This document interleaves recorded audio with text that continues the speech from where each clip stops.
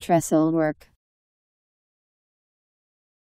A system of trestles, especially one used to support a bridge. T R E S T L E W O R K Trestlework